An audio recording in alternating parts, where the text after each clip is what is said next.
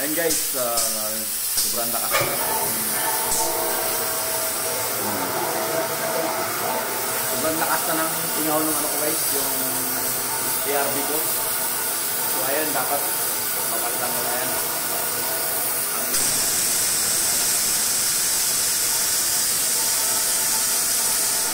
So, eh, ang ginagamit pa nila guys, pero ang lakas na.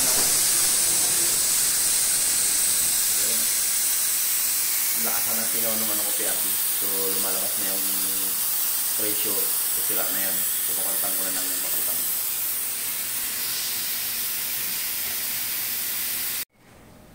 So, yan guys. Magpapalit tayo ng PRB. So, tatanggalin ko yung PRB.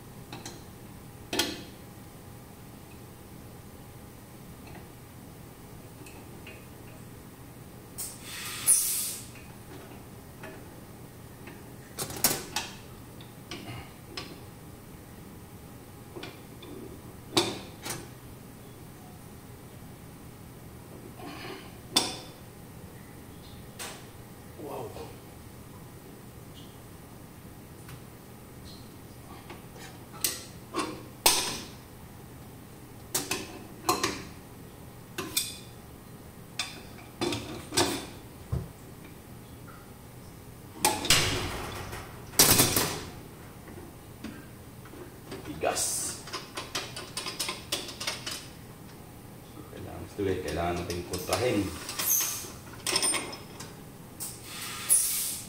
So, ito din.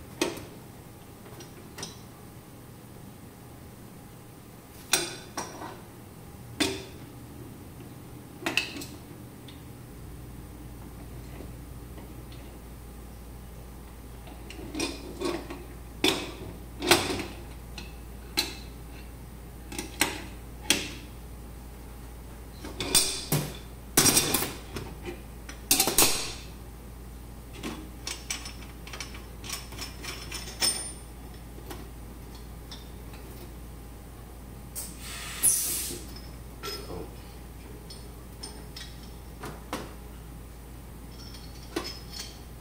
So ayun guys, tanggal na.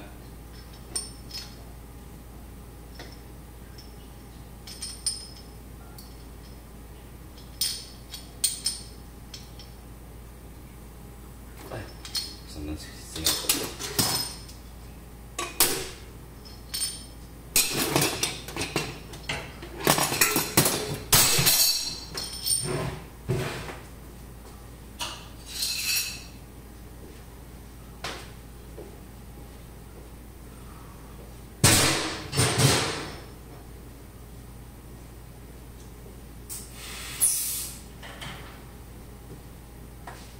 Yan. So, papalitan na lang guys. Tinanggal ko na yung PRB. Ayun guys, uh, pinatan ko na siya ng bago guys. So, gumamit pala ako ng ano na to guys, gumamit ako nung silant.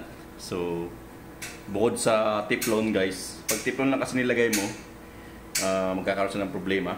So maglilik siya agad. So mas maganda kung lagyan mo siya ng yung abaka. Abaka at saka tiplon. Tapos lagyan mo siya ng gasket sila. So yan pang ilang taon na yan guys, hindi mabubu hindi yan ma hindi yan natap, hindi yan naglilik. Pati ito, ilagyan ko rin. Kasi tinanggal ko dati. So yan nilagyan ko na rin. So okay na siya guys. So ito nga pala guys, napakahirap. Ma- napakahirap ito mag-adjust. So, pag nagpalit ka ng PRB, hindi lang basta-basta pagpalit ka lang okay na. Napakahirap to guys kasi i-adjust mo yung pressure.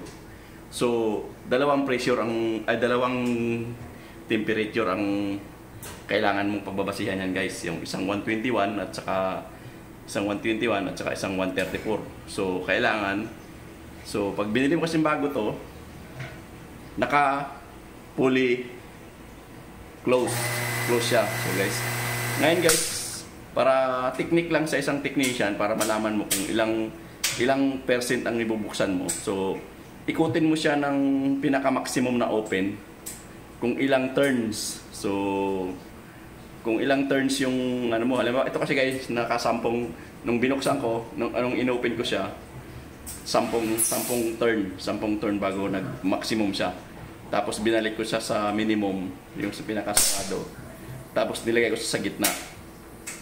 Kailangan, kailangan mo siyang ilagay sa gitna, pinaka gitna siya para malaman mo kung ilan yung pressure na lalabas doon. Kasi guys, ang usually sa sterilizer, sa itong top knower na to, ang ano guys, ang pinaka pressure niya sa 134 dapat pumapalo ka sa ng mga 300 ah 300 ah, kPa 300 320 kPa so yun yung importante sa pressure so ang 134 3, mga 300 m- nasa 320 guys sa kPa pag 134 pumapalo yung gauge natin. Pag nasa ano sa guys? Pag nasa 121 ang palo ng ang pressure mo doon sa cham- ah, jacket is nasa mga 200 ah, 250 270 so ayan guys so ayan okay naman so punta tayo sa kabila ayaw kuya now Jadid this one ha Check, water. Water is one leaking, see? This one little leaking there. In the basin. I will uh, fix this one. What same thing like this? Mali na na to. No, you cannot put. I open this one a little bit. So this one you already. So in, in relation. This one already asked. Uh, like ah, Greece. This No, this one uh, Silan. Uh, I put Silan. This one. 91 alone. Together, Lazim. To? So I will buy for you Haraj, no problem. Wallah. Ayo. Buy for me. Huh? When? Pimujud, inshallah. Friday, we go Haraj. Okay. Karbanada. Karbanada. Ayan guys, dito tayo magbe-base. So naka 121 tayo dyan. 121. Tayo 121 big package. Dapat yung temperature mo nasa, hindi ba, nasa 200 pag nagra-run yan. So, kasi 121. So pag tinipat ko siya ng 134,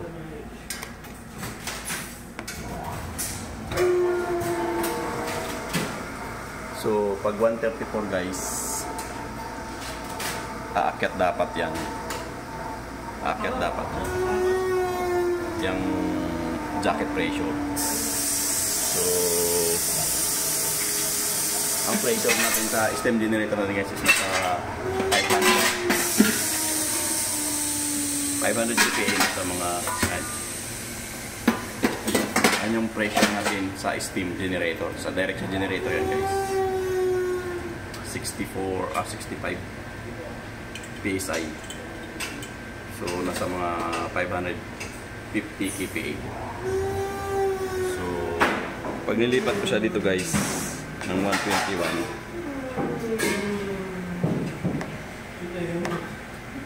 121, 134, big package. So, sasarado ko siya.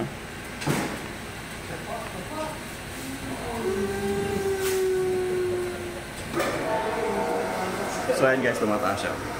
So yan ang importante ng PRB. So yun ang pinaka-importante sa PRB. Yung adjustment ang mahirap. So kailangan mo lang talaga sa matyaga kang i-adjust.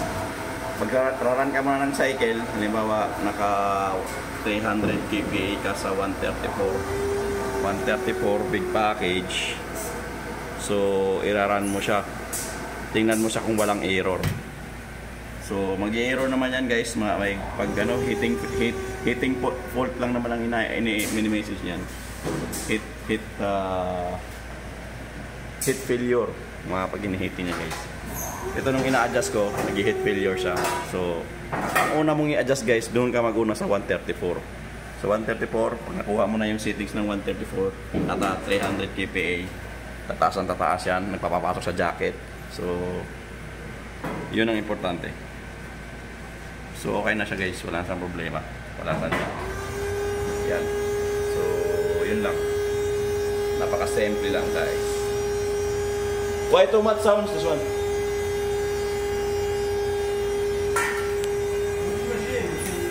What sound? Ha? Mapilak.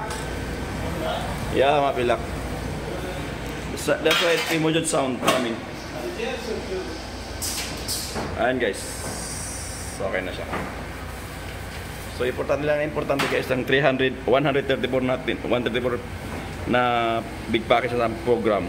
Yung temperature niya, kailangan nandito ka sa, papalo ka dyan sa mga to, 300. 300 kPa guys. Papalo ka dapat dyan bago mo siya i-run.